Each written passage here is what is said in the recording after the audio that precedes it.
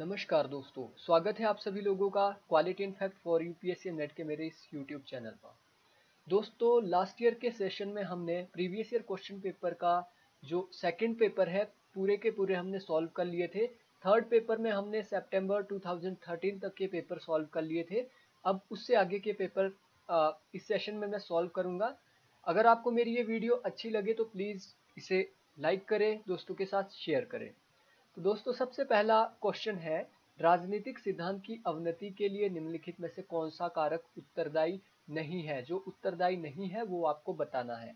Positivism बिल्कुल positivism political theory के decline से रिलेटेड है। डेविड ईस्टन ने इसको कारण माना है। इतिहासवाद को डेविड ईस्टन और जर्मिनो दांते ने कारण माना है। और नैतिक सापेक्षवाद को भी पॉलिटिकल थ्योरी के डिक्लाइन का कारण माना है। यहाँ पे पॉलिटिकल सापेक्षवाद का क्या मतलब है? कि हम नैतिकता के दायरे को छोड़ देंगे, ठीक है? जो नैतिकता है, हमारी मॉरल वैल्यूज़ है, हमारा जो भी वैल्यूज़ है, उसको हम रिसर्च के अंदर नहीं लाएँगे, उससे बिल्कुल सेपरेट रहेंगे। तो ये पॉलिटिकल थ्योरी के डिक्लाइन का कारण बनता है, लेकिन जो वैचारिक बहुवाद होता है पॉलिटिकल जो आपका, बहुवाद होता है, उसके अंदर क्या होता है कि डिफरेंट डिफरेंट टाइप के विचार आते हैं। जब डिफरेंट टाइप के विचार आएँगे बहुवाद जहाँ पे होगा प्लूरलिज्म जहाँ पे होगा आइडियोलॉजिकल वहाँ पे पॉलिटिकल थ्योरी स्ट्रेंथन होगी वहाँ पे विचारों को ज़्यादा से ज़्यादा महत्व मिलेगा तो ये वैचारिक बहुलवाद नहीं है। तो इसका सही आंसर है डी डी इसका राइट आंसर है। क्वेश्चन नंबर दो, नव उदारवाद इनमें विश्वास नहीं करता है। सबसे पहले नहीं करता है, वो आपने बताना है। डी रेगुलाइजेशन डीरेगुलाइजेशन का मतलब है कि जो आपकी पहले से नीतियाँ बनी हैं, उन नीतियों को चेंज करना मार्केट के अकॉर्डिंग तो बिल्कुल नवोदारवाद इसमें विश्वास करता है। डी ब्यूरोटिक ब्यूरोक्रेटाइजेशन यानी कि जो ब्यूरोक्रेसी के पास शक्तियाँ हैं, उसको कम से कम करना ताकि अधिक से अधिक स्वतंत्रता लोगों को मिल सके। विनिवेश डिस इन्वेस्टमेंट करना। तो डिस इन्वेस्टमेंट कौन करेगा यहाँ पे? डिस इन्वेस्टमेंट करेगा सरकार। सरकार के पास जितनी भी कंपनियाँ हैं, वो प्राइवेट सेक्टर को दी जाए। यही है नव उदारवाद के बेसिक यहाँ पे अजम्पन स्ट्रेटिजाइजेशन का मतलब क्या होता है कि राज्य की जो सरकार होगी, उसका दबदबा होगा। राज्य की सरकार का दबदबा होगा पूरी मार्केट पे, पूरे पॉलिटिकल सिस्टम में तो इसकी बात नव उदारवाद बिल्कुल भी नहीं करता है। तो डी इसका सही आंसर है। किसने कहा है करारोपण? बलात् श्रम के बराबर है। दोस्तों, ये बात कही है रॉबर्ट नोजिक ने। रॉबर्ट नोजिक टैक्स के बिल्कुल खिलाफ है। वो बोलते हैं कि टैक्स बिल्कुल नहीं होना चाहिए क्योंकि जो मेहनत करता है, ये उसकी मेहनत की मेहनत का परिणाम है। इसलिए उससे इसको छीना नहीं जाना चाहिए। क्वेश्चन नंबर चार। इसमें आपको लेखक और लेखक को उनकी पुस्तकों के साथ मैच करना है। तो सबसे पहली पुस्तक है रिचर्ड जो लेखक है, रिचर्ड लोवंथल। रिचर्ड लोवंथल ने लिखी है, वर्ल्ड कम्युनिज्म। वर्ल्ड कम्युनिज्म इन्होंने बुक लिखी है और बेंजामिन एल श्वाटर्स ने बुक लिखी है, Chinese communism and Chinese ideology in flux.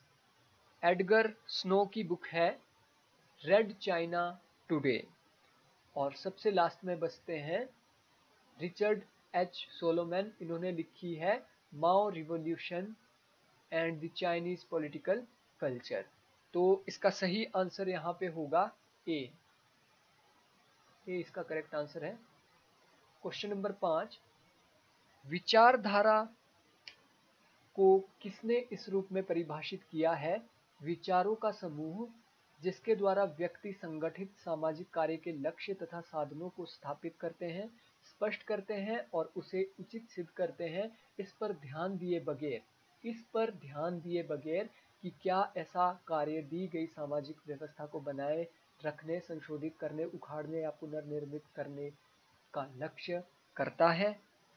तो इसका क्या मतलब है कि जो पॉलिटिकल आइडियोलॉजी है, वो ध्यान नहीं देती है सोशल सिस्टम के ऊपर कि किस टाइप का सोशल सिस्टम है और किस टाइप का हमें चाहिए। तो ये बात की है नियो मार्क्सिस्ट मार्टिन सैलीगर ने। नियो मार्क्सिस्ट मार्टिन सैलीगर के ये शब्द है और जहाँ पे भी मतलब इस तरीके की क्रिटिकल आलोचना की जाती है आप बिल्कुल समझ लो कि क्रिटिकल थ्योरी से ये रिलेटेड है और क्रिटिकल थ्योरी का मतलब है कि वो नियो मार्क्सिस्ट है। क्रिटिकल थ्योरी को नियो मार्क्सिज्म का भी नाम दिया गया है। क्वेश्चन नंबर छ यहाँ पे अभी कथन और कारण दिए हैं, देखते हैं। राजनीतिक दार्शनिक, राजनीतिक सिद्धांतवेता होता है। यहाँ पे बोल रहे हैं, जो राजनीतिक, जो पॉलिटिकल फिलोसफर होता है, वो एक पॉलिटिकल थ्योरिस्ट होता है। समस्त राजनीतिक सिद्धांतवेता अनिवार्य तौर पर राजनीतिक दार्शनिक नहीं होते हैं। तो दोस्तों, ये क्वेश्चन आपका वेन डायग्राम से इजीली आएगा। तो यहाँ पे मैं, मेरे पास यहाँ पे कोई टूल नहीं है जिसके द्वारा मैं आपको यहाँ पे बता पाऊँ। तो इसका सही आंसर आएगा ए अगर आपको इसके बारे में अच्छे से देख, अच्छे से जानना है कि इसका आंसर ए कैसे है तो आप मेरा वेन डायग्राम वाली वीडियो देख सकते हैं, उसमें मैंने इजीली एक्सप्लेन किया है इसको। किसने कहा कि श्रम शक्ति श्रमिक के मस्तिष्क, मांसपेशी तथा नसों के बराबर है? यानी कि जो लेबर फोर्स है, वो श्रमिक के पूरे जो जिस्म है, पूरी उसकी मस्तिष्क मस्तिष्क, उसकी सोचने की क्षमता है, उसकी मांसपेशी है, उसके बराबर है। तो ये बात की थी लेनिन ने, और इसके द्वारा वो बताना चाहते थे कि जब एक श्रमिक के मस्तिष्क, मांसपेशी तथा नसों के बराबर अगर श्रम शक्ति है तो यहाँ पे पूंजीपतियों को ज़्यादा लाभ नहीं मिलना चाहिए, बल्कि श्रमिकों को मिलना चाहिए। प्लेटो का पुनः प्रगटन इसमें पाया गया है।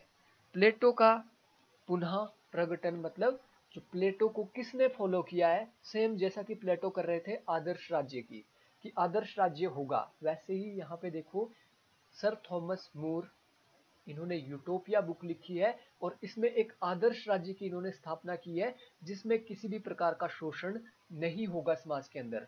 और यही थॉमस मूर थे जिनसे शुरुआत होती है यूटोपियन सोशलिस्ट की यूटोपियन सोशलिस्ट की, जिसके अंदर बाद में जुड़ते हैं सेंट साइमन, चार्ल्स फूरियर और रॉबर्ट ओवन जैसे utopian socialist. Next Campanella Campanella का सिटी ऑफ़ द सन, बिल्कुल ये भी एक आदर्श राज्य की स्थापना करता है और बेकन का न्यू अटलांटिस भी। तो इसका मतलब इसका करेक्ट आंसर है डी उपयुक्त सभी। अरस्तु के संबंध में कौन सा कथन सही नहीं है? एरिस्टोटल, पुरुष स्वभाव से असमान है। ये क्या बोल रहे हैं? पुरुष स्वभाव से असमान है। बिल्कुल सही बात है, सारे पुरुष एक समान नहीं होते हैं स्वभाव से। उच्च के प्रति निम्न की अधीन, अधीनस्था। बिल्कुल सही। इसी के द्वारा इन्होंने दास प्रथा की, का समर्थन किया। स्त्रियाँ स्वभाव से पुरुषों के अधीनस्थ होती है। बिल्कुल इन्होंने स्त्रियों को निम्न दर्जे का माना और स्त्रियों को मताधिकार देने के ये बिल्कुल भी पक्ष में नहीं थे। दास प्रथा उचित सिद्ध की गई। बिल्कुल इन्होंने उचित सिद्ध की गई है क्योंकि यह दास के लिए श्रेष्ठ स्थितियाँ नहीं दिलाती। यहाँ पे देखो, नहीं दिलाती। क्योंकि ये श्रेष्ठ स्थितियाँ दिलाती है। यहाँ पे नहीं, बिल्कुल गलत है। तो इसका मतलब है डी इसका गलत है, क्योंकि दास के लिए श्रेष्ठ स्थितियाँ दिलाती है, इसलिए दास प्रथा होनी चाहिए एरिस्टोटल के अनुसार। उपयोगितावाद के जे एस मिल के संशोधित संस्करण का मानवीकरण करने में किसने सहायता की?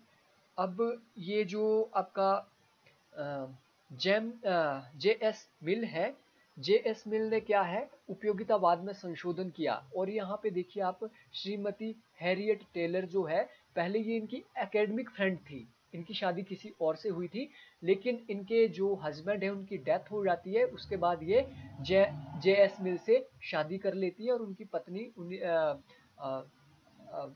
फिफ्टी सेवन तक ये संबंध में रहते हैं और इन्होंने जे एस मिल को मानवतावादी बना दिया था। और इसी कारण क्या होता है कि जे एस मिल नारीवादी बन जाते हैं और नारी को मताधिकार देने के पक्ष में हो जाते हैं। तो इसका सही आंसर है बी। क्वेश्चन नंबर ग्यारह। हॉब्स के लिए फेलिसिटी का अर्थ है आनंद बिल्कुल नहीं, उन वस्तुओं को जिनको आदमी पाने की समस्त सॉरी की समय समय पर इच्छा करता है, पाने में निरंतर सफलता पाता है। फेलिसिटी का मतलब ही यही है कि व्यक्ति जिनकी कामना करता है ना, जिनको पाना चाहता है, उनको पा भी लेता है तो तभी उसे आनंद मिलेगा, तभी उसे क्या मिलेगा? फेलिसिटी मिलेगा। यदि किसी चीज़ को पाने की उसने आशा रखी है और वो उसे नहीं मिलती है तो उसे फेलिसिटी नहीं, उससे उसको क्या होगा? दुख होगा। तो इसका सही आंसर यहाँ पे है बी प्राकृतिक पुरुष वह होगा जिसमें शक्तिशाली चेतना और वफादार कारण ने सफलता के साथ स्वप्रेम। यहाँ पे क्या बोल रहे हैं? सफलता के साथ स्वप्रेम तथा सहानुभूति को सामंजस्यपूर्ण बनाया है। ये कथन किसका है? ये कथन है जॉन लोक का। इन्होंने प्राकृतिक अवस्था की बात की थी कि प्राकृतिक अवस्था कैसे शांतिपूर्ण थी। शांतिपूर्ण इसलिए थी क्योंकि जो शक्तिशाली चेतना उसके पास थी और वफादारी भी उसके पास थी। लोक का निबंध कंसर्निंग ह्यूमन अंडरस्टैंडिंग इसका खंडन है। जो लॉक ने निबंध लिखा था कंसर्निंग ह्यूमन अंडरस्टैंडिंग इसके अंदर इन्होंने क्या किया है? इन्होंने सर रॉबर्ट फिल्मर की पेट्रियार्का का जो रॉबर्ट फिल्मर की पेटिया पेट्रियार्का था, उसके अंदर इन्होंने क्या बोला था? रॉबर्ट फिल्मर ने ये बोल रहे थे कि ज्ञान हमें कहाँ से मिलता है? रेशनैलिटी से मिलता है। ज्ञान हमारा मतलब विवेक जो हमारा होता है, उसके द्वारा हमें ज्ञान की प्राप्ति होती है, हम दिमाग से समझ सकते हैं। लेकिन आपको पता है, जॉन लो को अनुभववाद का पिता बोला जाता है। तो ये क्या बोलते हैं कि नहीं, जो ज्ञान है हमें, वो रैशनैलिटी से नहीं मिलता है, हमें अनुभवों से मिलता है। ठीक है? अनुभवों का मतलब है, जितनी भी हमारी इंद्रिया है, उनसे हमें ज्ञान मिलता है। फॉर एग्ज़ाम्पल अगर हम किसी गर्म चीज़ को टच करते हैं तो हमारी एक इंद्री, त्वचा त्वचा के द्वारा हमें पता लग जाएगा कि चीज़ गर्म है और हमें उसका ज्ञान हो जाएगा। सूंघने से ज्ञान होगा, देखने से मतलब इंद्रिय ज्ञान को ये महत्व देते हैं जॉन लॉक और इन्होंने रॉबर्ट फिल्मर की पेट्रियार्का का विरोध किया है। समाज की रणनीति को दो सिद्धांतों पर आधारित होना चाहिए। समाज की जो रणनीति है, उसको दो सिद्धांतों पर आधारित होना चाहिए। दूसरों को स्व मानकर उनके साथ व्यवहार करो और अन्य जरूरतमंद व्यक्तियों की सहायता करो। ये बिल्कुल ही महात्मा की तरह विचार है। ये या तो विवेकानंद कर सकते हैं या फिर आपके महात्मा गांधी जैसे दार्शनिक कर सकते हैं। नीचे देखिए, राम मनोहर रॉय, बिल्कुल नहीं। बी आर अंबेडकर सावरकर, बिल्कुल नहीं। ये है महात्मा अरविंद। महर्षि अरविंदो घोष भी इनको बोला जाता है। तो इन्होंने जो पौंडीचेरी से अपना जर्नल प्रकाशित किया था, उसके अंदर इन्होंने ये बात की थी। एम एन रॉय की गतिविधियों, घटनाओं के आरोही क्रम को आपने यहाँ पे लिखना है कि कौन कौन सी गतिविधियाँ कब कब उन्होंने की। सबसे पहले देखो, उग्रवादी कांग्रेसी लीग, कांग्रेसियों की लीग की गठन, यानी रेडिकल कांग्रेस का गठन उन्होंने कब किया था? 1940 के अंदर। भारतीय पुनर्जागरण आंदोलन का प्रारंभ उन्होंने कब किया? जब उग्रवादी कांग्रेसी लीग रेडिकल जो कांग्रेस पार्टी है, उसका विघटन हो जाता है। कॉमिंटन से बाहर उनको निकाला गया है 1926 के अंदर, जब उनका स्टालिन के साथ मतभेद हो जाता है। साप्ताहिक पत्रिका द इंडिपेंडेंट इंडिया इन्होंने लिखनी शुरू की थी उन्नीस सौ सैंतीस के अंदर। तो इसका यहाँ पे सही आंसर होगा तीन, चार, एक, दो। चौथे सत्र के लिए यूएस राष्ट्रपति के रूप में निम्नलिखित में से किसे चुना गया था? फोर्थ टाइम जो इलेक्ट हुए हैं राष्ट्रपति के रूप में, वो कौन है? वो है Franklin D Roosevelt. Franklin D Roosevelt ये राष्ट्रपति बने थे 1932 के अंदर और 1944 तक ये राष्ट्रपति रहे थे और चौथी बार इन्हें चुना गया था। दोस्तों, आपको पता है, इसके बाद उन्नीस सौ इक्यावन में 1951 के अंदर ट्वेंटी सेकेंड अमेंडमेंट लाया जाता है और उसके द्वारा ये निर्धारित किया गया था कि कोई भी राष्ट्रपति दो बार से ज़्यादा राष्ट्रपति यूएस का नहीं बन पाएगा। क्वेश्चन नंबर सेवनटीन उदार लोकतंत्रों में लोकतांत्रिक मूल्य आदर्श के रूप में व्यापक स्वीकृति पाते हैं, परंतु इसके साथ ही प्रतिनिधि लोकतंत्र की मूल संस्थाओं की कार्यकारिता की नागरिक गण आलोचना करने लगे हैं। बिल्कुल आलोचना करने लगे हैं तो ए बिल्कुल यहाँ पे सही है। आर देखते हैं। सरकार में घटता हुआ विश्वास, अब देखो कार्यकारिता की नागरिक गण आलोचना क्यों करने लगे हैं? क्योंकि सरकार में घटता हुआ विश्वास राजनीतिक संस्कृति की अवस्थित अवस्थित अस्फीति प्रकट करता है और इस तरह से आपसी लक्ष्य प्राप्त करने में राजनीतिक प्रणाली क्षमता से कम करता है। तो ये दोनों ही ए और आर दोनों सही है और आर ए का सही स्पष्टीकरण है। नागरिक गण लोकतंत्र की आलोचना क्यों करने लगे हैं, उसका बहुत ही अच्छा स्पष्टीकरण नीचे दिया गया है। क्वेश्चन नंबर 18 संविधान संशोधन की सरल प्रक्रिया निम्नलिखित में से किस देश में है? संविधान का जो फ्लेक्सिबल प्रक्रिया, अब देखो भारत में सब सॉरी यूएसए के अंदर सबसे ज़्यादा कठोर संविधान है। इसमें अभी तक 27 ही संशोधन हो पाए हैं। भारत के अंदर सेमी फ्लेक्सिबल है कुछ प्रक्रियाएँ कठोर है कुछ नर्म है।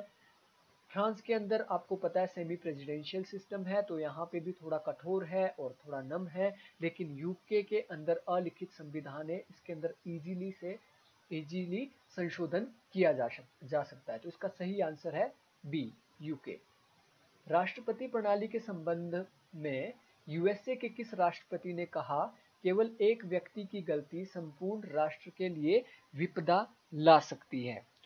तो ये बात की थी जिमी कार्टर ने। ये बात की थी जिमी कार्टर ने और जो जिमी कार्टर का जो टाइम पीरियड था प्रेसिडेंशियल का, वो था 1977 से लेके 1981 तक। और आपको पता होगा इनको नोबल पीस प्राइज भी मिला है 2002 के अंदर। यूएस से राष्ट्रपति के बारे में निम्नलिखित में से कौन सा कथन सही नहीं है, वो आपको यहाँ पे बताना है। तो देख लेते हैं। किसी भी यूएस राष्ट्रपति को कभी भी दोषी नहीं ठहराया गया। ठीक है? दूसरा है हाँ यहाँ पे देख लीजिए, आज तक किसी को भी दोषी नहीं ठहराया गया है, किसी भी यूएस राष्ट्रपति को, ये बिल्कुल सही है। दूसरा रिचर्ड निक्सन पर महाभियोग एक वोट से असफल हो गया था। एक वोट से असफल हो गया था। अब देखो जो आपका रिचर्ड निक्सन था उनके ऊपर क्या है? वाटरगेट स्कैंडल का केस बना था जो कि 9 अगस्त 1974 में इनके ऊपर चलाया गया था आ, केस। तो इन्होंने क्या किया? इनको हटाने की कोशिश की जा रही थी लेकिन इन्होंने खुद ही त्याग पत्र दे दिया था। तो ये यहाँ पे इसका सही आंसर यहाँ पे बी होगा।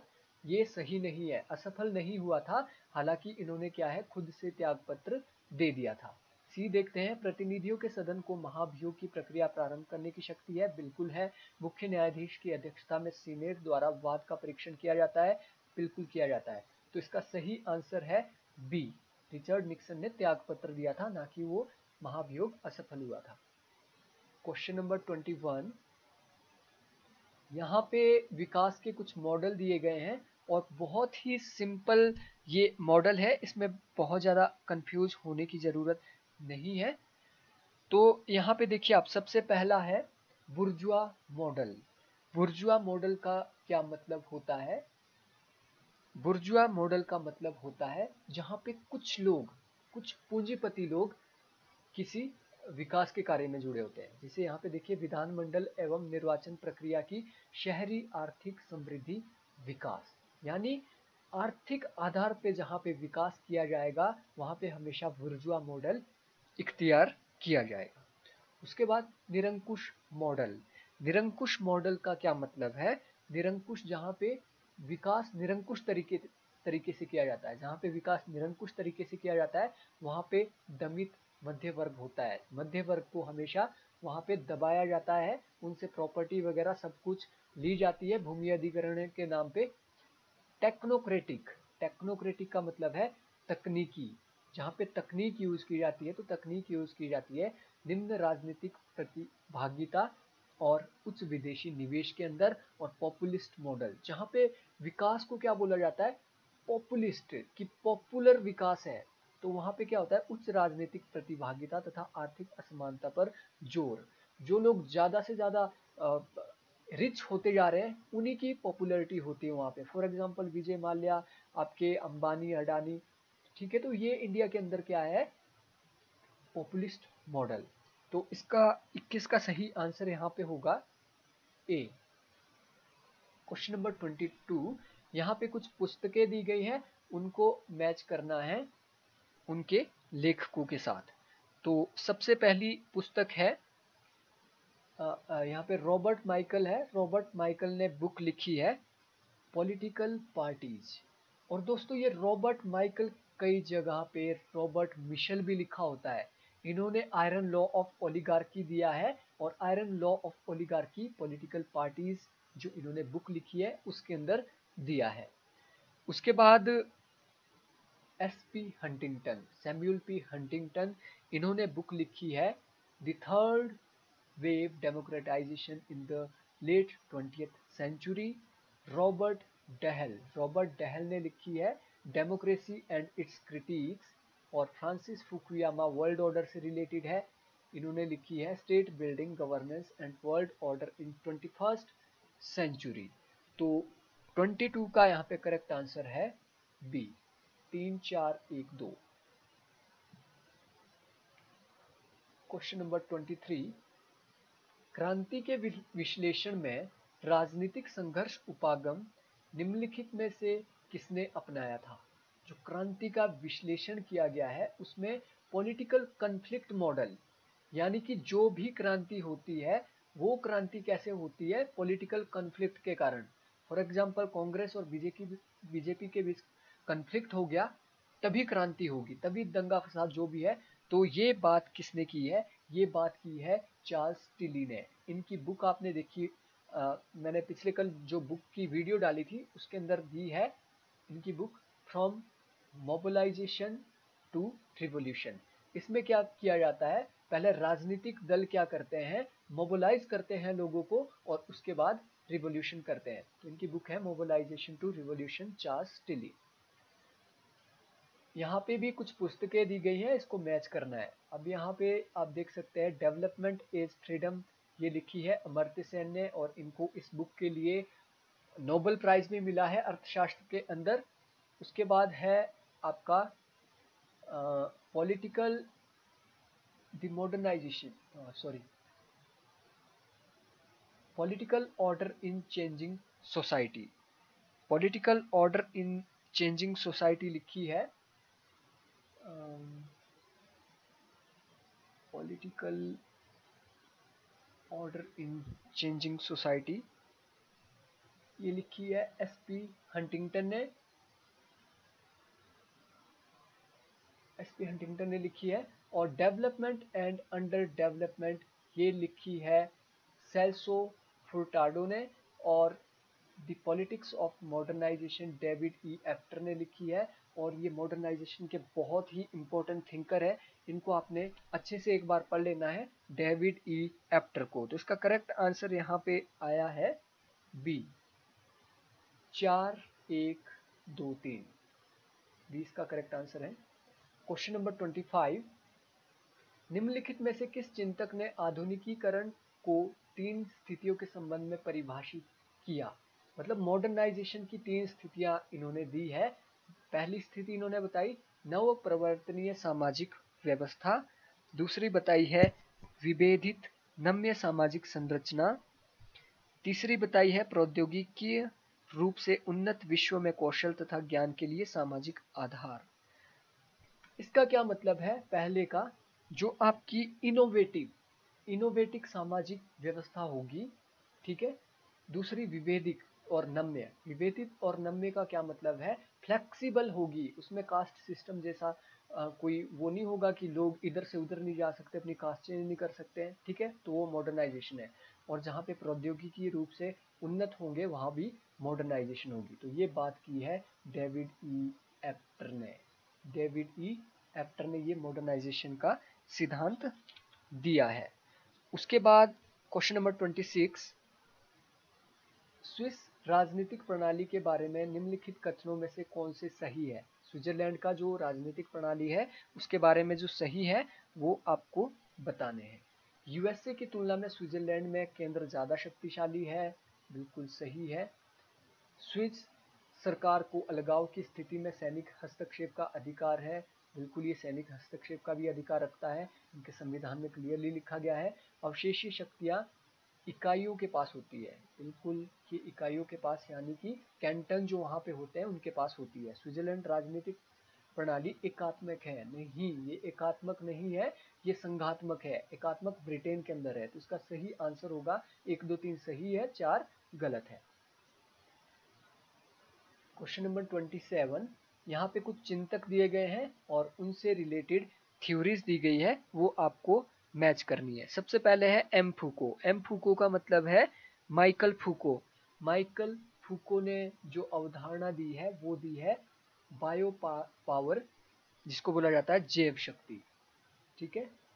और स्टीवन लुकस। स्टीवन लुकस ने दी है सत्ता का उग्रवादी दृष्टिकोण। जो अथॉरिटी है उसका रेडिकल दृष्टिकोण दृष्टिकोण दिया है स्टीवन लुकस ने। स्टीवर्ड क्लेग ने दिया है सर्किट्स ऑफ़ पावर अवधारणा, सर्किट्स ऑफ़ पावर, ये दिया है। स्टीवर्ड लेक ने और एफ़ नीचे ने दिया है विल टू पावर तो इसका करेक्ट आंसर है दो, तीन, चार, एक। क्वेश्चन नंबर ट्वेंटी एट, एक दल पार्टी प्रणाली का गुण कौन सा नहीं है? जहाँ पे सिर्फ़ एक ही दल होगा फॉर एग्जांपल चाइना। वैसे तो चाइना में मल्टी पार्टी सिस्टम है, लेकिन एक दल का ही प्रभुत्व वहाँ पे रहता है। तो वहाँ का गुण क्या है? सांप्रदायिक? बिल्कुल सही। सांप्रदायिक आधार पर भी एक दलीय व्यवस्था स्थापित हो सकती है। अनन्य क्षेत्रीय वर्ग, वैचारिक समर्थन, बंद, सत्तावादी, प्रत्यक्ष कार्यवाही, दमनकारी संगठन, बिल्कुल। बंद का मतलब यहाँ पे क्या है? जो पॉलिटिकल सिस्टम है, वो अपने आप में बंद है ओपन नहीं है। और सत्तावादी अथॉरिटेरियन शासन हो जहाँ पे प्रत्यक्ष कार्यवाही की जाती है तो वहाँ पे भी ये एक दल प्रणाली का विशेषता है। विस्तृत राष्ट्रीय एकीकरण, समुदाय निर्माण लामबंदी यानी कि मोबिलाइजेशन तो बिल्कुल, जहाँ पे डिफ्रेक्टेड सिस्टम होता है या राष्ट्रीय एकीकरण किया जाता है, समुदाय निर्माण किया जाता है या मोबिलाइजेशन की जाती है, ये भी एक दल पार्टी की विशेषता है, लेकिन ये कभी भी व्यापक नहीं होती है एक दल पार्टी। क्योंकि इसके अंदर क्या है, भ्रष्टाचार भी होता है, सेवार्थ उन्मुखी तो आप हो ही नहीं सकते जहाँ पे एक दल पार्टी हो, क्योंकि उनका वर्चस्व है ऑथोरिटेरियन है वो। व्यवहारिक समर्थन भी उनको नहीं मिलता है, लोगों को ज़बरदस्ती उनका समर्थन करना पड़ता है। तो इसका सही आंसर है डी। एक दो तीन है, लेकिन डी नहीं है।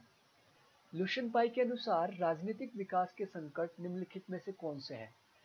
दोस्तों, जो लुशन पाई ने राजनीतिक विकास के संकट, छह प्रकार के संकट इन्होंने बताए हैं, जिसमें सबसे पहला एकीकरण का संकट, दूसरा वितरण का संकट, तीसरा पहुँच का संकट, और चौथा सहभागिता का संकट, और पांचवा है पहचान का संकट और छठा है वैधता का संकट।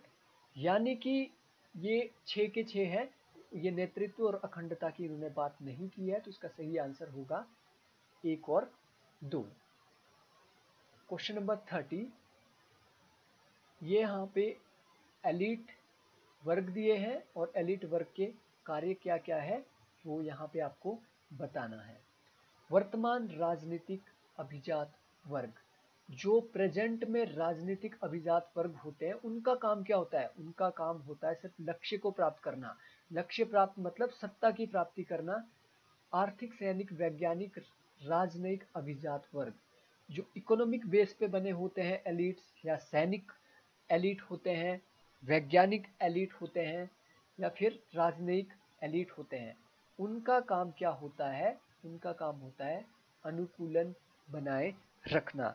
अनुकूलन बनाए रखना।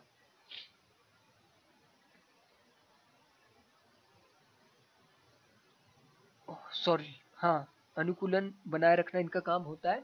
उसके बाद है पुरोहित दार्शनिक शिक्षक।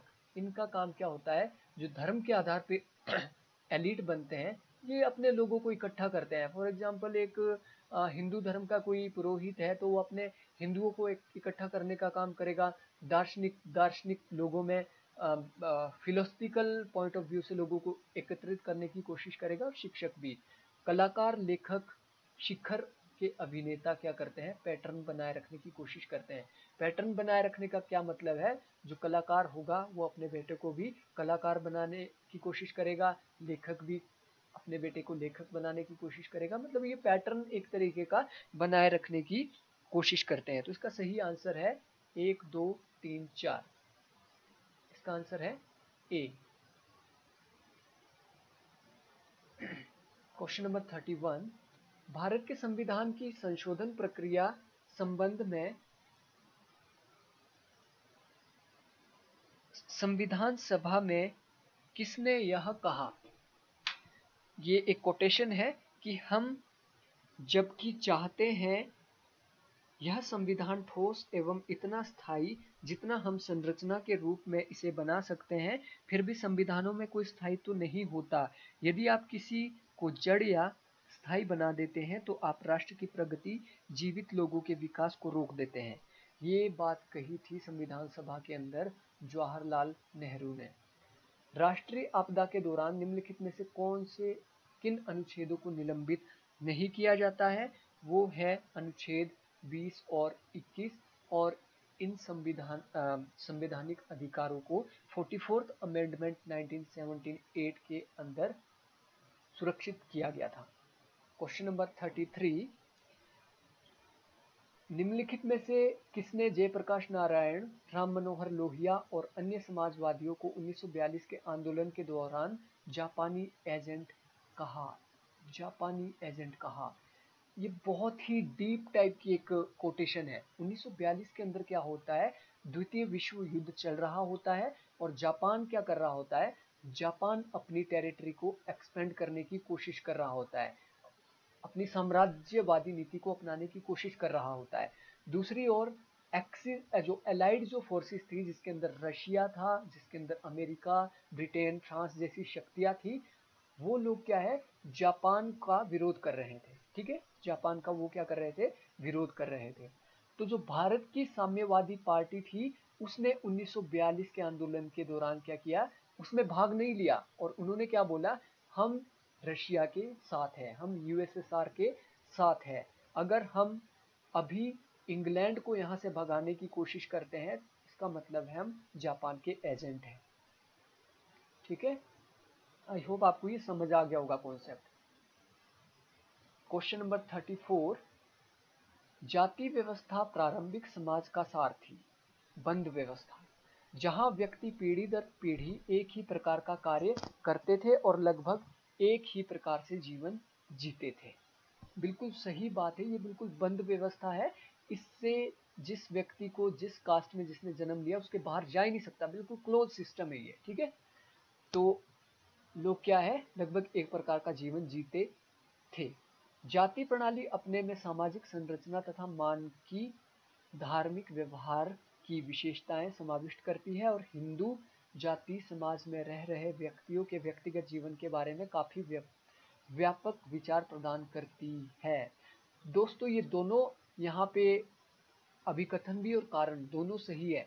लेकिन इसको अगर आप ध्यान से देखेंगे तो यहाँ पे क्या बात की जा रही है कि जाति व्यवस्था क्या है? थी, जीते थे। जीते थे की यहाँ पे बात की जा रही है क्यों जीते थे? अगर उसका यहाँ पे एक्सप्लेनेशन होती है तो बिल्कुल सही होना था। यहाँ पे जीते थे पास्ट टेंस में। पास्ट की बात की जा रही है और यहाँ पे प्रेजेंट की बात की जा रही है। हालाँकि ये दोनों सही है, लेकिन ये इसका सही एक्सप्लेनेशन नहीं है। इसका आंसर है बी ए और आर दोनों सही है, लेकिन आर ए की सही व्याख्या नहीं है। भारतीय सर्वोच्च न्यायालय समयोपरि संवैधानिक उदारता और मानवाधिकारों को विस्तारित करने और उनकी सुरक्षा करने की प्रतिबद्धता प्रदर्शित करने में विफल हुआ है। बिल्कुल नेगेटिव यहाँ पे ये बात कर रहे हैं, नीचे देख लेते हैं। सर्वोच्च न्यायालय ने भारत के संवैधानिक लोकतंत्र को गढ़ने, जो संवैधानिक लोकतंत्र है, उसको गढ़ने, उसको आकार देने में अहम भूमिका निभाई है और अभी भी निभा रहा है। और उससे भी परे जो कि संविधान के निर्माताओं ने कल्पना की थी और जो न्यायालय अन्य देशों में भूमिका निभाते हैं, बिल्कुल वैसे ही भारत में निभा रहा है। तो ये विफल नहीं हुआ है, ये सफल हुआ है। रीजन के अंदर यहाँ पे हम अगर इसको पढ़े तो ये विफल नहीं हुआ है, ये सफल हुआ है। For example public interest litigation PIL इसका एक उदाहरण है जन याचिका, जिसके द्वारा क्या है? संवैधानिक उदारता को ज़्यादा बल दिया गया है। तो यहाँ पे ए गलत है आर सही है। तो इसका मतलब है सी इसका करेक्ट आंसर है ए गलत है आर सही है। Thirty five just a minute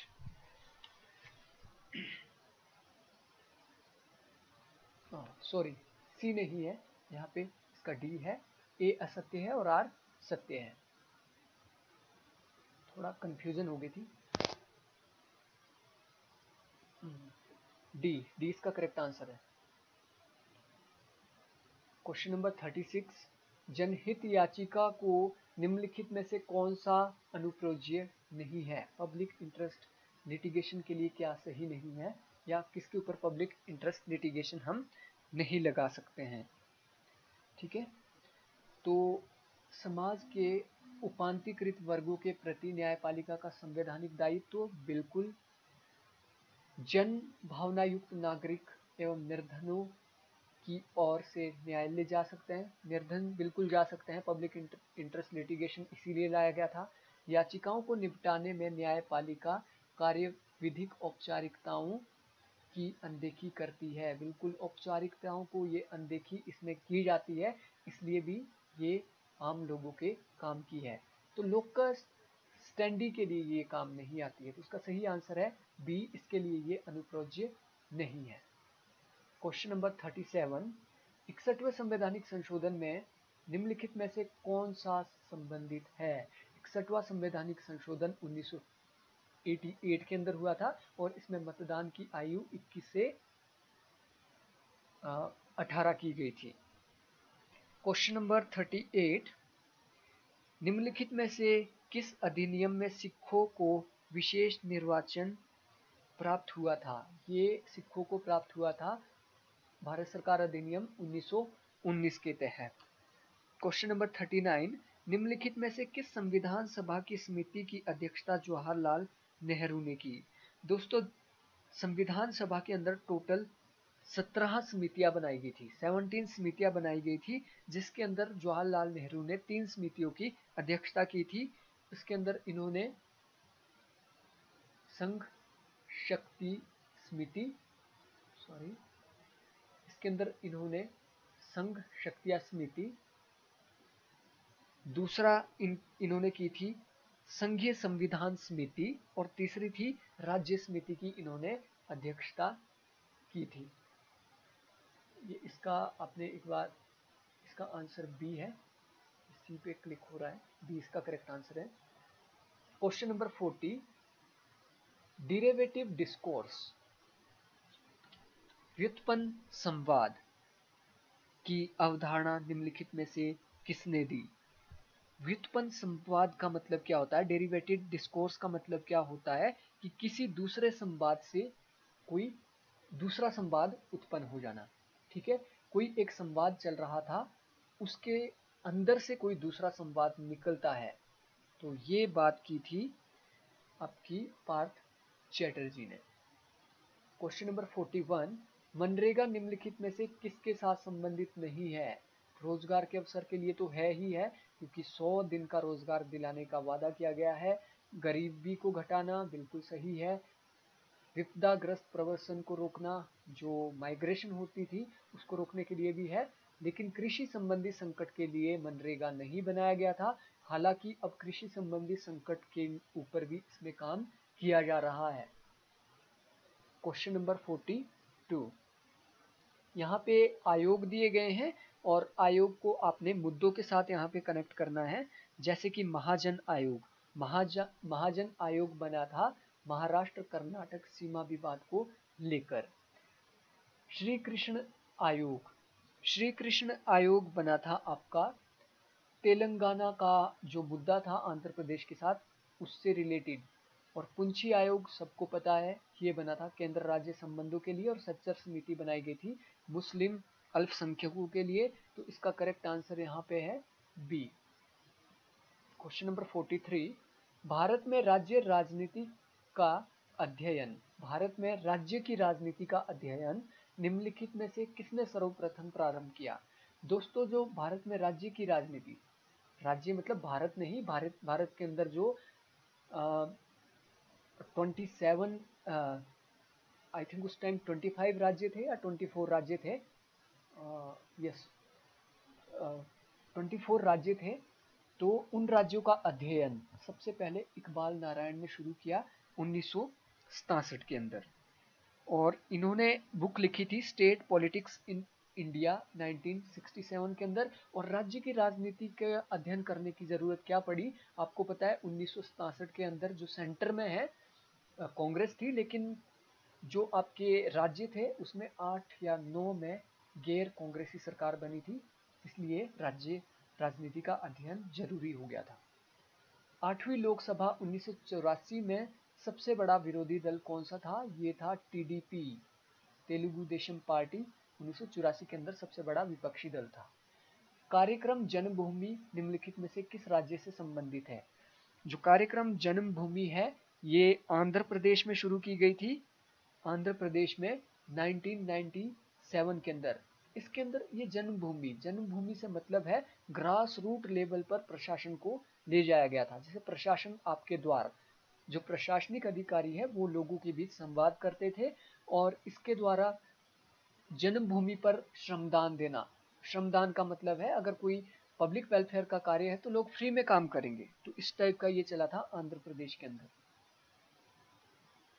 question number 46 यहाँ पे उपागम दिए गए हैं और उपागम की विशेषताएँ बतानी है। और ये बहुत ही इजी है। अगर आपको बिहेवियरलिज्म पता है ब्यूरोक्रेसी पता है इकोलॉजी पता है तो आप इजीली इसको अंडरस्टैंड कर पाओगे।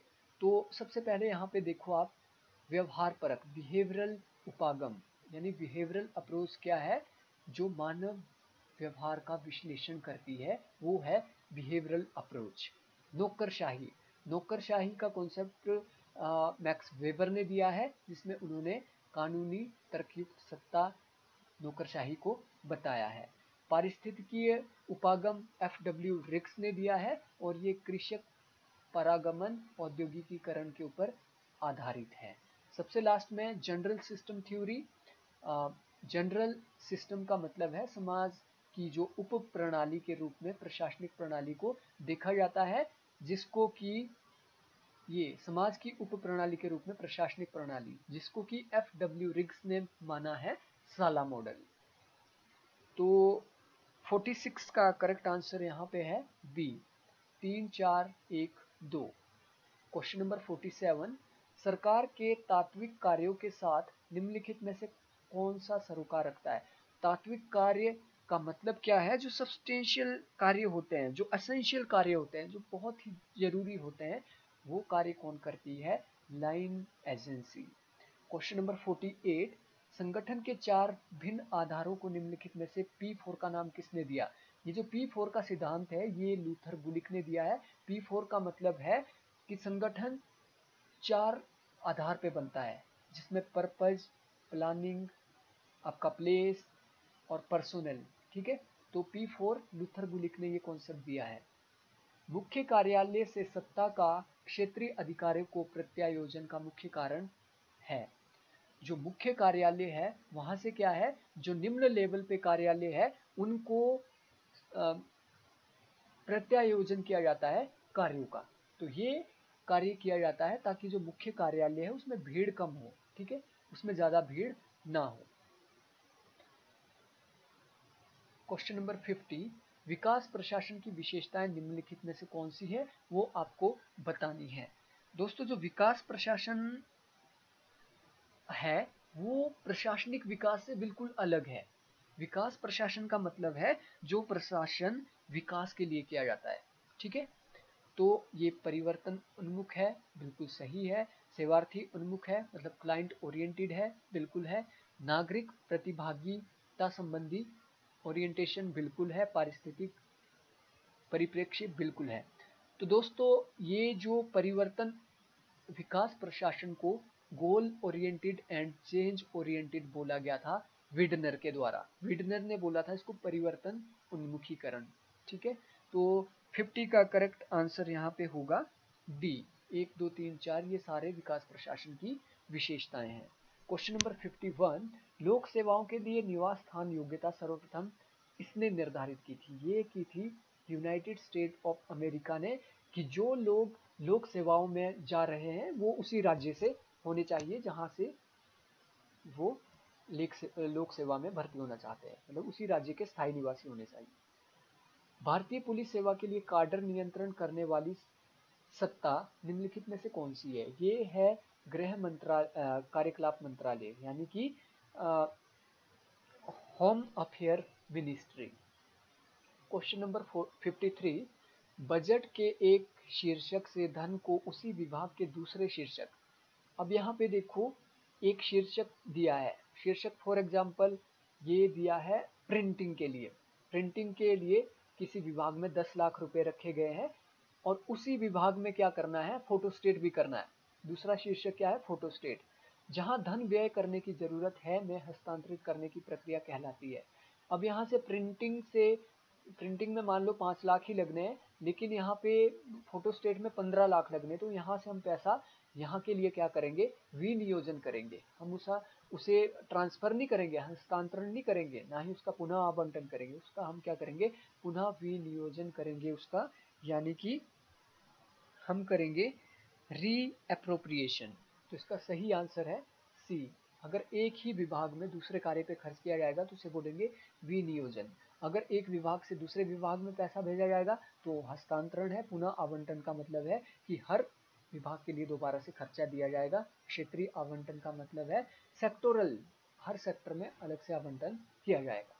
पदोन्नति का सामान्य तौर पर अर्थ होता है। पदोन्नति का मतलब है, पहले तो आपके पद में बदलाव आएगा, जो आपकी पोजीशन है कर्तव्यों में भी बदलाव आएगा, पदवी में भी और वेतन में भी बदलाव आएगा। तो इसका करेक्ट आंसर है एक, दो, तीन, चार। क्वेश्चन नंबर फिफ्टी फाइव निम्नलिखित में से कौन सा कथन सही है? जो कथन सही है, वो आपको यहाँ पे बताना है। संविधान में निदेशक सिद्धांत के रूप में पंचायती राज का उल्लेख किया गया है। बिल्कुल किया गया है। आर्टिकल 40 के अंदर स्थानीय प्रशासन की बात की गई है। सादिक अली समिति भारत में पंचायत प्रणाली की कार्यकारिता पर रिपोर्ट देने के लिए नियुक्त की गई थी। अब दोस्तों, ये सादिक अली जो समिति है, ये भारत भारत सरकार ने नहीं अपॉइंट की थी। ये राजस्थान की सरकार ने पंचायती राज के लिए अपॉइंट की थी। तो ये बिल्कुल यहाँ पे गलत है। दूसरा यहाँ पे गलत है, ये भारत सरकार ने नहीं, राजस्थान सरकार ने की थी। जीवी के राव समिति योजना आयोग द्वारा नियुक्त की गई थी, बिल्कुल सही है। स्थानीय सरकार का राज्य सूची में उल्लेख है। बिल्कुल, जो स्थानीय सरकार, यानी जो पंचायती राज है, वो राज्य सूची का एक भाग है। तो यहाँ पे एक, दो और चार बिल्कुल सही है। तो एक, दो, चार। फिफ्टी फाइव सॉरी एक, तीन, चार इसका करेक्ट आंसर है, क्योंकि सादिक अली समिति जो है, वो राजस्थान की है। तो एक, तीन, चार इसका करेक्ट आंसर है तो इसका करेक्ट आंसर है A. Question number fifty six निम्नलिखित में से किसने नौकरशाही को संगठन का नाम दिया है, जो अपनी गलतियों से सीख कर अपने व्यवहार को ठीक नहीं कर सकता है? मतलब नौकरशाही को ढीठ किसने बोला है? निठल्ले, जो कभी अपनी गलती से सीखते ही नहीं है, वे अड़े रहते हैं। ये बात की है एम. क्रोजियर ने। जो एम. क्रोजियर थे, उन्होंने महाद्वीपीय जंजाल भी बोला है नौकरशाही को। अब यहाँ पे देखो, मैक्स वेबर, भले ये नौकरशाही से रिलेटेड है, लेकिन नौकरशाही को अच्छा मानते हैं। सी एम पार्किंसंस और आर के मर्टन। ये भी नौकरशाही का समर्थन करते हैं। लेकिन एम क्रोजियर इसको बहुत ही गलत मानते हैं। क्वेश्चन नंबर 57 राष्ट्रीय संयुक्त परामर्शदात्री तंत्र परिषद का अध्यक्ष कौन है? इसका अध्यक्ष होता है मंत्रिमंडल सचिव।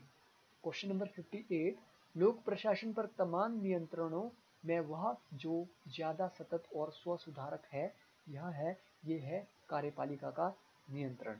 कार्यपालिका वो प्रेसिडेंट वाली कार्यपालिका नहीं है, या फिर जो सेंटर वाली। कार्यपालिका का मतलब होता है जो नियमों को लागू करता है और कंट्रोल में रखता है लोगों को। फॉर एग्जांपल किसी होटल में एक मैनेजर होता है तो वो भी कार्यपालिका नियंत्रण होता है। विधानमंडल के द्वारा अगर आप नियंत्रण रखने की कोशिश करोगे कानून बना के तो कानून को मैक्सिमम लोग फॉलो नहीं करते हैं। न्यायपालिका का पालिका के द्वारा, यानी कि न्यायपालिका क्या करेगी आपके जो भी आपने डिसीज़न लिया है, उसके ऊपर हस्तक्षेप करेगी तो उसके द्वारा भी नियंत्रण नहीं होगा।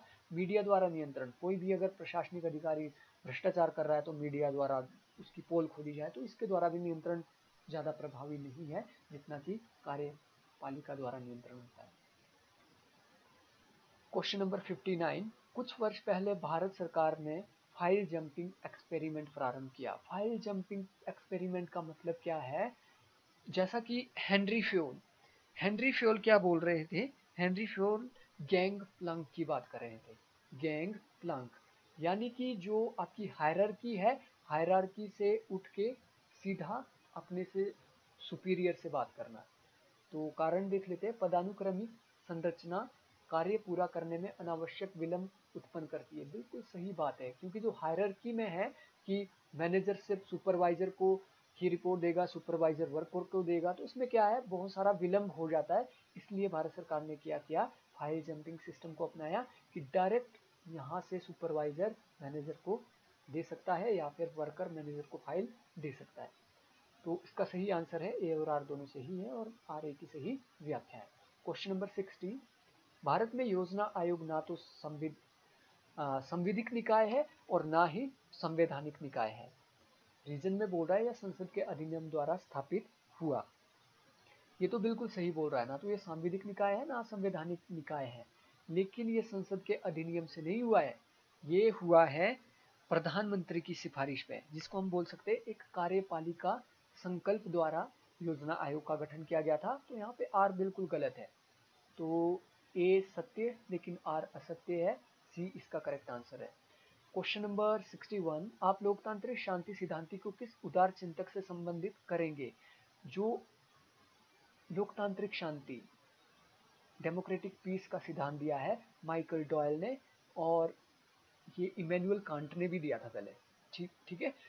लेकिन इसका करेक्ट आंसर है माइकल डॉयल। तो यहाँ से आपको पता लग रहा होगा कि 2000 जो 18 जुलाई के अंदर पेपर आया, कितने क्वेश्चन रिपीट हुए हैं। मोर देन 60 परसेंट क्वेश्चन यहाँ पे रिपीट हुए हैं previous question paper question number 62 नीचे दो कथन दिए गए हैं ए और आर, ठीक है? शासन प्रणाली वैश्वीकरण की महत्वपूर्ण विशेषता निरूपित करती है। तो शासन प्रणाली, जो पॉलिटिकल सिस्टम है, वो वैश्वीकरण की महत्वपूर्ण विशेषता निरूपित करती है, बिल्कुल करती है। वेमनस्य उपशमन वेमनस्य उपशमन का मतलब क्या है? जो डिससेटिस्फेक्शन लोगों में होती है, उसका क्या करना है? एलिवेशन उसका क्या करना है? खात्मा। ठीक है? जो डिसअफेक्शन या डिससेटिस्फेक्शन लोगों में है, उसका खात्मा की शुरुआत यूएसए के द्वारा हेजिमोनिक परिस्थिति के क्षय होने तथा पर्यावरण, ये समस्याओं के बारे में बढ़ती हुई जागरूकता ने सामाजिक वैज्ञानिकों का संवेदी संवेदनीकरण किया है। तो 62 का करेक्ट आंसर यहाँ पे बी होगा, क्योंकि ऊपर क्या बात की जा रही है? शासन प्रणाली की और नीचे क्या बात की जा रही है? यूएसए के हेजेमोनिक परिस्थिति की। ठीक है? तो ये, हालाँकि दोनों सही है, लेकिन ये इसको सही से एक्सप्लेन नहीं कर पा रहा है तो इसका करेक्ट आंसर बी है। क्वेश्चन नंबर सिक्सटी थ्री किसने कहा कि अंतर्राष्ट्रीय राजनीति में सत्ता मौसम के समान है? प्रत्येक व्यक्ति उसके बारे में बात तो करता है, परंतु कुछ ही उसे समझते हैं। मतलब कुछ ही लोग उसे समझ पाते हैं। ये बात की है, मौसम की बात की है, जोसेफ नाई ने कि राजनीतिक सत्ता क्या है, मौसम के समान है। जोसेफ नाई के बारे में आपको मैं बता दूँ, जोसेफ नाई ने changing nature of world power book लिखी है, जिसके अंदर इन्होंने सॉफ्ट पावर की बात की है। सॉफ्ट पावर का कॉन्सेप्ट भी जोसेफ नाई का है, बहुत इंपॉर्टेंट कॉन्सेप्ट है। क्वेश्चन नंबर सिक्सटी फोर यहाँ पे कुछ संघर्ष हुए हैं इंटरनेशनल लेवल पर। उसको आपने मैच करना है यहाँ पे राज्यों के साथ। तो सबसे पहले यहाँ पे देखो, नृजातीय जनसंहार। मतलब जो लोगों को है, बहुत ही बुरी तरीके से मारा गया। तो ये केस हुआ था रवांडा के अंदर। जनजातीय संघर्ष। गैर राजनीतिक उद्देश्यों के लिए अंतहीन हिंसा। 64 64 ये हुआ था लाइबेरिया में, जो गैर राजनीतिक उद्देश्यों के लिए अंतहीन हिंसा, ये लाइबेरिया के अंदर हुआ था और पार राष्ट्रीय युद्ध लड़ा गया है। कोंगो में और जनजातीय संघर्ष हुआ है।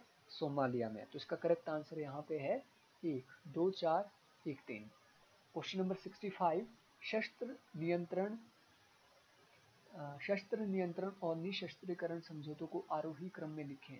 दोस्तों आई थिंक ये मिस्टेक हो गई थी यहाँ पे सीबीएसई नेट के द्वारा क्योंकि डेट भी इन्होंने इसके साथ दे दी थी। तो इसको आरोही क्रम में लिखना जो ओपन स्काई ट्रिटी हुई है, वो हुई है उन्नीस सौ बानवे में। तो सबसे पहला आएगा तीन उसके बाद आएगा दो, क्योंकि उन्नीस सौ तिरानवे में हुई है केमिकल वेपन कन्वेंशन उसके बाद ओटावा लैंडमाइन कन्वेंशन उन्नीस सौ सत्तानवे में, चार, और सबसे लास्ट में 2002 में हुई है सोल्ट क्वेश्चन नंबर 66 शीत युद्ध का उत्तरोत्तर काल एक ध्रुवीय विश्व में बहुध्रुवीय पल है। ये क्या बोल रहा है कि शीत युद्ध जब खत्म हो गया उन्नीस सौ इक्यानवे में, उसके बाद क्या है? एक ध्रुवीय विश्व बचा था, लेकिन उसमें भी बहुध्रुवीय पल है। मूवमेंट क्या है? बहुध्रुवीय है, क्योंकि अब अमेरिका की शक्ति नहीं रह गई है। अमेरिका का वर्चस्व नहीं रह गया है। बहुत सारे क्षेत्रीय संगठन संगठन भी शक्तिशाली उभर कर सामने आए हैं। अमेरिका का उत्कृष्ट अभिनेता बना हुआ है, परंतु वित्तीय रूप से ऋण में है।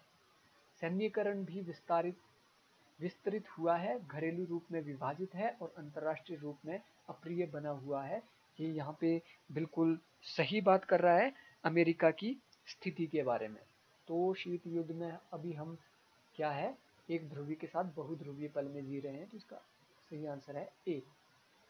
क्योंकि अमेरिका की स्थिति अभी ठीक नहीं है, इसलिए वो उतना ज़्यादा शक्तिशाली नहीं है। परिरोधन कंटेनमेंट की नीति किसने अपनाई थी? कंटेनमेंट की नीति अपनाई थी ट्रूमैन ने। इसको ट्रूमैन डॉक्ट्रिन भी बोला जाता है। सॉरी ट्रूमैन डॉक्ट्रिन भी इसको बोला जाता है। उन्नीस अड़तालीस के अंदर इन्होंने ये पॉलिसी दी थी। कंटेनमेंट की नीति का मतलब है, जो यूएस यूएसएसआर है, वो अपनी बाउंड्रीज को फैला रहा था। दूसरे देशों को मतलब साम्यवादी बना रहा था, उसको रोकने का इन्होंने एक सिद्धांत दिया था ट्रूमैन ने। किस देश में प्राकृतिक गैस का विश्व का सबसे बड़ा रिज़र्व? प्राकृतिक गैस का विश्व का सबसे बड़ा रिज़र्व? कोयले का द्वितीय सबसे बड़ा रिज़र्व? और तेल का आठवां सबसे बड़ा रिज़र्व है ये है रशिया रशिया के अंदर। यहाँ पे पुस्तक दी गई है पुस्तक को आपने मैच करना है थिंकर के साथ। तो सबसे पहली है a hundred horizons, the Indian Ocean in the age of global empire ये लिखी है सुगातो बोस ने। ये लिखी है सुगातो बोस ने। दूसरी है global swing state states, Brazil, India, Indonesia, Turkey and the future of international order. ये लिखी है डेविड क्लीमेन एवं रिचर्ड फोंटेन ने। उसके बाद war in the Indian Ocean, ये लिखी है, sorry, war in the Indian Ocean book लिखी है। वाइस एडमिरल मिहिर कुमार ने और Samudra Manthan Sino Indian rivalry in Indo Pacific लिखी है सी राजा मोहन ने। तो 69 का करेक्ट आंसर है सी दो, तीन, चार, एक। क्वेश्चन नंबर सेवेंटी राष्ट्रपति बुश द्वारा वर्ष 2002 में अपने स्टेट ऑफ़ यूनियन भाषण में axis of evil axis of evil Bush ने किसको कहा था 2002 के अंदर? इन्होंने कहा था इराक, ईरान और उत्तरी कोरिया को axis of evil question number 71 संयुक्त राष्ट्र शांति निर्माण आयोग कब स्थापित किया गया था? दोस्तों, ये स्थापित किया गया था 2005 के अंदर, दिसंबर 2005 के अंदर, और ये एक इंटर गवर्नमेंटल आयोग है जो कि एडवाइजरी काम भी करता है। एडवाइस देने का काम भी करता है जनरल असेंबली को यूएन के अंदर। क्षेत्रीय पहल के भाग के रूप में भारत ने 2004 में टोक्यो समझौते की पहल की। इसके फलस्वरूप जिस संगठन का उद्भव हुआ, उसका नाम बताइए। तो दोस्तों, ये जो 2004 के अंदर बना था, ये था ReCAAP ReCAAP. ReCAAP R E C A A P ReCAAP बना था। इसकी फुल फॉर्म होती है regional cooperation agreement on combating piracy and armed robbery against ships in Asia तो ये 2004 में बना था। क्वेश्चन नंबर 73 उस सैनिक कूटनीति का नाम बताइए, जिसने बताया कि तमाम युद्ध धोखे पर आधारित है और सूक्ष्मता तथा गुप्तता की दिव्य कला के रूप में उसकी प्रशंसा की गई है मतलब युद्धों की कला भी की गई है। तो ये बात की है संजू ने। संजू, ये चाइना के एक दार्शनिक है, छठी शताब्दी ईसा पूर्व के क्वेश्चन नंबर सेवेंटी फोर वर्ष 2002 में इराक को जाने वाले संयुक्त राष्ट्र मॉनिटरिंग सत्यापन और निरीक्षण आयोग की अध्यक्षता करने वाले व्यक्ति का नाम बताइए। दोस्तों 2002 में जो इराक के अंदर कहा जा रहा था कि वो वेपन्स बना रहा है इराक, सद्दाम हुसैन। हालाँकि जो बाद में गलत साबित हुआ था, वो किसी प्रकार का वेपन नहीं बना रहा था मास डिस्ट्रक्शन के। तो उसकी अध्यक्षता की थी हैंस ब्लिंक्स ने। उसकी अध्यक्षता की थी हैंस ब्लिंक्स ने। इसीलिए इसको हैंस ब्लिंक्स निरीक्षण आयोग भी बोला जाता है। Question number seventy five Bharat की विदेश नीति को निम्नलिखित में से कौन सा राज्य सबसे कम प्रभावित करता है? अब देखो जम्मू कश्मीर तो बहुत ज़्यादा प्रभावित करता है क्योंकि सीमा से लगा है। पश्चिम बंगाल भी आपका बांग्लादेश की सीमा से लगा है। आपका तमिलनाडु बिल्कुल साउथ में है, समुद्र की सीमा से लगा तो ये इनको विदेश नीति का ध्यान रखना पड़ता है, लेकिन मध्य प्रदेश इंडिया के बिल्कुल बीच में है, जो कि फॉरेन पॉलिसी को ज़्यादा प्रभावित नहीं करता है। तो दोस्तों, ये था दिसंबर 2013 का नेट का पेपर। आई होप आपको मेरी ये वीडियो अच्छी लगी होगी। Thank you, thanks for watching.